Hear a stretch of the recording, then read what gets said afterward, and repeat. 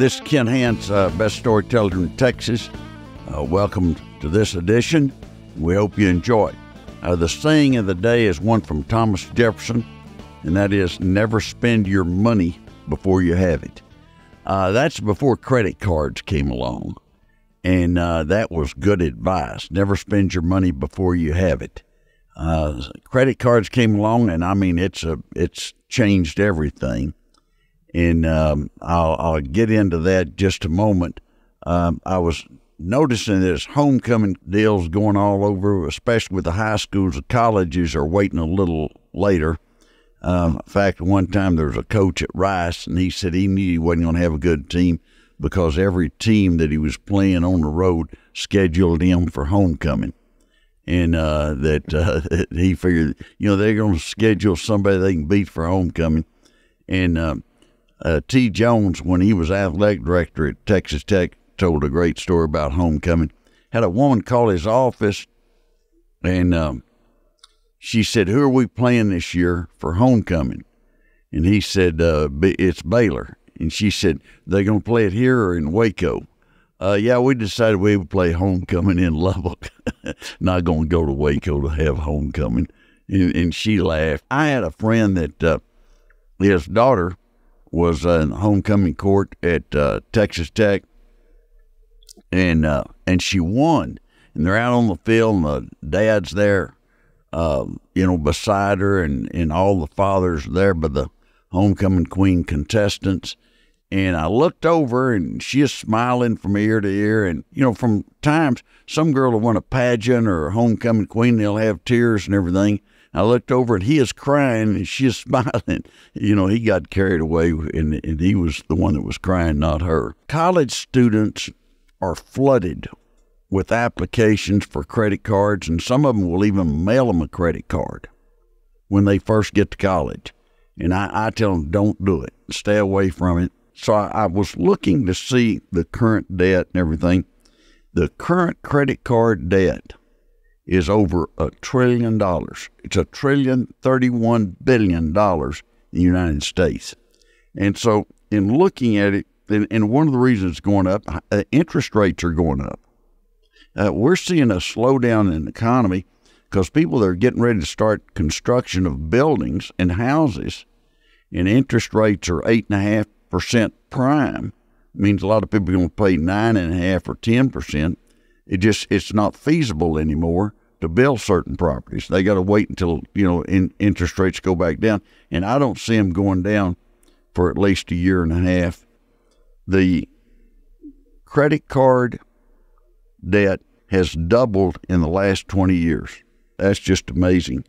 They had a list of the average credit card debt per state per person that has credit card debt, and the highest was Connecticut and it was nine thousand four hundred and eight dollars.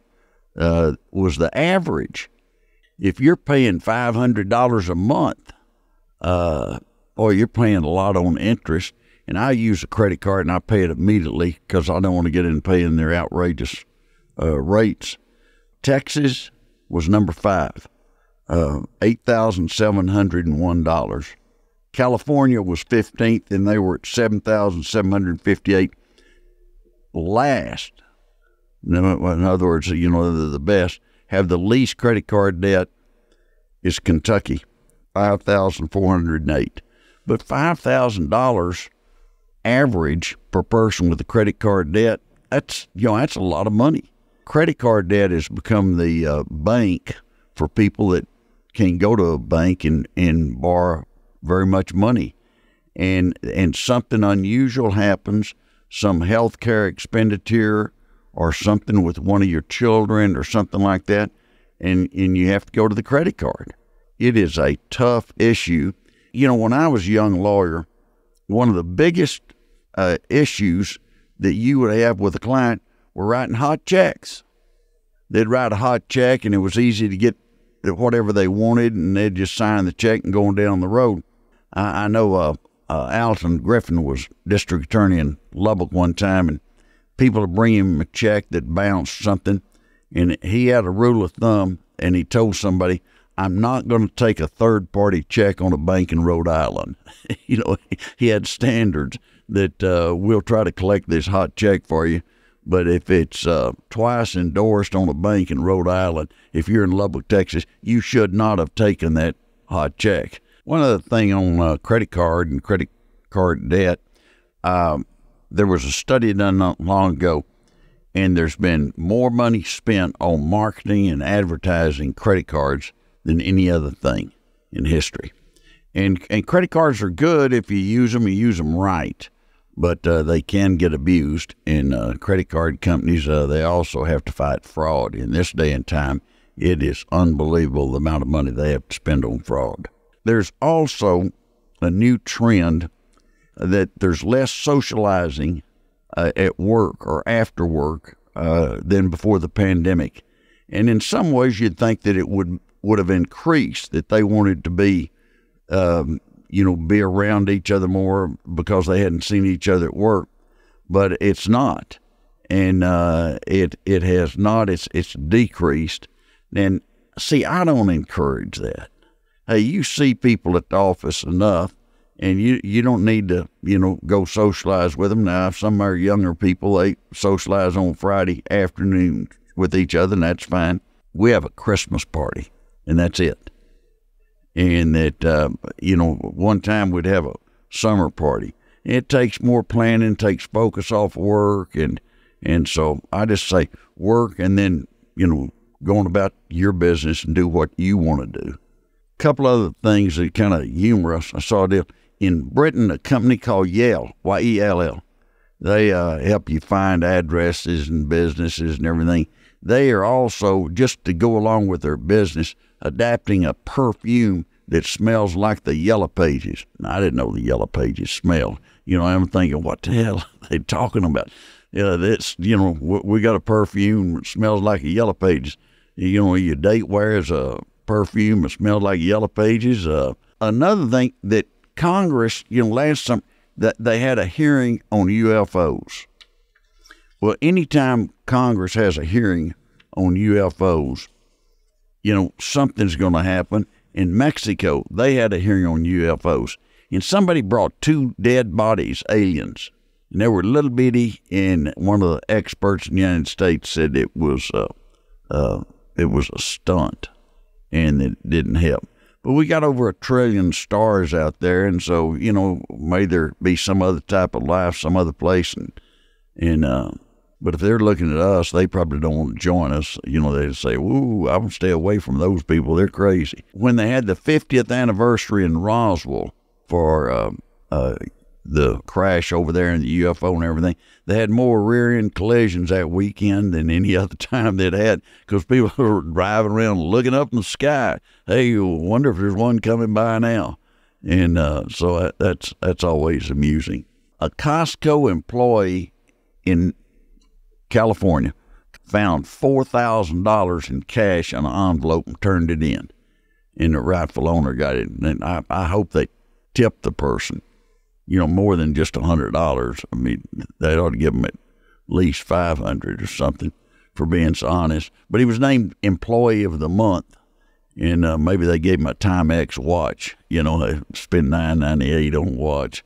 I, w- I went to a, a banquet one time for county commissioners banquet in uh, in town out in West Texas, and they gave uh, uh, a retirement gift to a guy that was a road. He ran a road grader. He kept the roads great graded, and I'm telling you that's that's important. If you're a county commissioner and your road's in bad shape, you're going to get beat over that.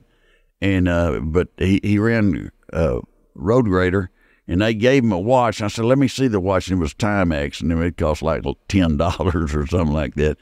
And I told the judge, "Boy, y'all shouldn't go now. You know, I mean, it may break the county." He said, "Well, we couldn't pay the county funds. We had to go around and, you know, pass a collection, get people to give in, give into that ten dollars." I, I thought, I, I don't believe I want to work there if they're if they're just going to give you a ten dollar watch. You know, he had twenty five years, or you know, he had some time and uh, and gave him a certificate. And he is he is real nice, nice gentleman. And and I, I wonder what happened to roads after he left. They might have gotten in bad shape. Also, there was a study I saw, and it said, Who has the best social life, you or your dog? And 60% of the people said the dog did. If that's your answer, you have got problems. You need you need to change dogs or you need to change your life or do something. 60% thought their dog had a better social life. I mean, give me a break. Uh, you, are uh, you're not living a good life. Now I've I've got a friend that works in Austin, and uh, uh, she and her husband they have a dog, and and they it goes to a dog sitter each day, and it stays at the dog sitter. They entertain it and everything like that. I've told them if I come back after I die, somehow I want to be their dog. Uh, you know, I mean that dog gets spoiled, and it's just uh, uh, unbelievable uh, how well it gets treated. I, I, was, and I've told this before on, um, on this program, that I was like eight or nine years old, and I went to a Christmas party for the family. And when we got in the car, me, my sisters, my mother, my dad, we were all saying, "Can you believe Aunt Marie has a dog that lives in the house?" We'd never heard of anybody that had a dog live in the house. Our dog lived under the house, you know, or or somewhere in his doghouse, but he didn't live in the house. We, my dad said, you know, they'll get rabies. I guarantee you that. And mother said, I, you know, they've got fleas, and uh, it it was quite a conversation. Now, if you ask somebody if they've got a dog lives in the house, they'd look at you odd, oddly, that you would ask such a stupid question. So times have changed. This last week in stupid criminals, a guy carjacked, pulled a gun on someone and got a van. And within a few minutes, the police were at the scene and chasing the van. And they chased him until he jumped a curb and ran into a building, smashed the van into a building, and the building was the police department. You know, now this guy's not real smart. You know, uh, it uh, crime doesn't pay, and and uh, he he needs I, if I were representing him, I'd plead insanity. Uh, that uh, we had a, uh, had a friend of mine had a client, and they arrested him for making obscene calls, and uh, they got him police station. They fingerprinted him, booked him, and let him make his call. He made another obscene one, and I said, yeah, "You got a great insanity plea on that one. You know, you might be able to get get get uh, that that case dismissed." Also, there was a uh, study done on naps, and th- this one is hard for me to believe that the best time to have a nap is at nine thirty on a Wednesday. Now, I don't know. I, I, I, didn't I didn't take time, waste time to go into how they did the study and everything. But uh, I'll, I'll, tell you, if I uh, take a nap during the day, it's not going to be at nine thirty on Wednesday. It's going to be at one o'clock. I, I want to mention uh, uh, one other thing that uh, I saw Subway is going with a three inch Subway sandwich in Pakistan, and they're looking doing the United States. Jersey Mike's has a five inch, three three inches. I mean, it'd be fine with me. I, I don't have a problem. Most of the restaurants you go to uh, serve you really too much, and that uh, if they want to cut it down, well, that that probably is to my benefit. My problem is though when they cut it down and keep the price the same. You know, I know that inflation is uh, rampant. I also wanted to mention several times that when we did the uh, story on the Louisiana Purchase, if you haven't heard that, you need to go back and listen to it. It's really good. It's how a guy named Livingston really helped the United States and was the key person to making sure that we got the Louisiana Purchase, and uh, 15 states came out of that. It was a great opportunity for the United States. But uh, there's it, it talked about that. That was about Livingston, Robert Livingston, who really performed a great service for the United States. And there are a couple others I want to mention today. Uh, one was a an actress named Hedy Lamarr, and Hedy Lamarr was born in Vienna. She came to the United States. She was beautiful, but she was smart and inquisitive about other things and she was inquisitive about science and and during the uh, when when the Germans submarines were blowing up ships, she was very concerned and she and her neighbor, and I was trying to look, his name was George Antheil, and he was a composer. And they got to talking about how you could hop from one radio frequency to another. And they were talking about that, and they started playing with instruments and and coming up with methods where they could uh, uh, do that. And uh, lo and behold, uh, what they came up with the hopping of frequencies was, you know, help, helps us with Bluetooth and uh, uh, Wi-Fi today, and that uh, they got a patent on it, and they really didn't make any money, and that was 1942, but it probably saved some ships, and uh, that uh, she never did get credit for that like she should have, because she was an actress, and she was making movies. Most people don't know uh, anything about her or what she did in regard to science and technology. And I, and I think it's a great story. Another one was uh, Joe Stilwell. And uh, Joe Stilwell, uh, he went by Vinegar Joe. He was a tough guy. He was a West Point graduate. He was going to go to Yale, and uh, but his dad wanted him to go to West Point.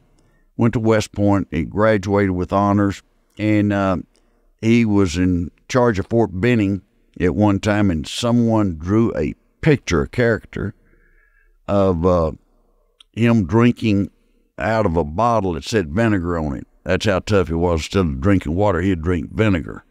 And so they, uh, th- he thought that's so funny. He had pictures made and got it around, and, and all of a sudden everybody started calling him Vinegar Joe. And President Roosevelt in 1942 sent him to China to be in charge of the American operations in China, and that was to get the supplies that uh, Chiang Kai-shek uh, that he that he needed, and that uh, get those supplies and uh, make sure that uh, that the people that were fighting for freedom against the Japanese that they were fully supplied.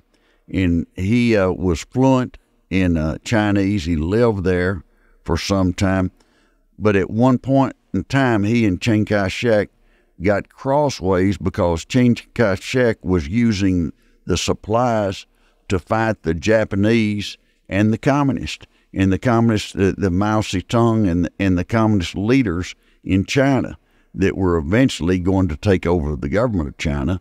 Chiang Kai shek, uh, he fled China and went to Taiwan. That's the reason you got Taiwan. Of course, they're uh, just a speck but you don't know what's going to happen in regard to uh, China trying to take over uh, Taiwan. But the the actions of uh, Vinegar Joe Stilwell were such that he he got to know the Chinese people, and they really had a great re- relationship, and they were working with the United States. We were working closely with them uh, and trying to stop the Japanese from expanding their empire. I think it goes back that, that if you have good people uh, in in any area, and another government has good people, you can work out the problems. But you know, right now our, our greatest competition in the world is China, and uh, it's amazing what they have done to try to uh, influence our government and try to bribe people uh, that are involved in government. Uh, but they have really been active in uh, doing some things that they shouldn't be doing. And uh, they've been active in building bases different places, and uh, it's going to be our na- main competitor. Russia, I-, I think something happened to Russia when they invaded Ukraine. I think they thought that it was going to last a week at the most, and it's going on and on and on. They hadn't been able to win, and I, I think they sincerely thought they'd just march in, that'd be it. And um, that you know it was obvious to me, and one of the ambassadors in in the Middle East told me that once we pulled out of Afghanistan as quickly as we did, that it was just going to be months, and it was just months before Russia invaded Ukraine. They thought they could do it, they could get by with it, and there'd be no consequences. Main consequence they've had is uh, Russian young men and women being sent home in body bags and uh, so it's been tough. It's been real tough, and uh, hopefully maybe the Chinese think that there would be a lot of backlash and not easily to just take over Taiwan. But uh, that is a big issue. But Joe Stilwell, he uh, was in charge of our relations with China and did an excellent job, knew what he was doing. When uh, when Stilwell went, he, he was a colonel, but he became a general and uh, was called back uh, by Roosevelt because he had the falling out with Chiang Kai shek, who wanted the money uh, that he was getting in the supplies to fight the Japanese and the communists. And that uh, Stilwell wanted him to focus on the Japanese. They need to win that first. W- one thing I'd say about Joe Stilwell and General Stilwell, he got to know those people in that country, got to know the, the Chinese, and got to be friends with them. He had a lot of influence with them. And there's a statue in China now. It's the only American has a statue, and uh, there's a museum. And so uh, he he was a person that worked head to head and toe to toe with the people, and, and they were most appreciative. Saying of the day is never spend your money until you have it. That was Thomas Jefferson. It worked then, it works now.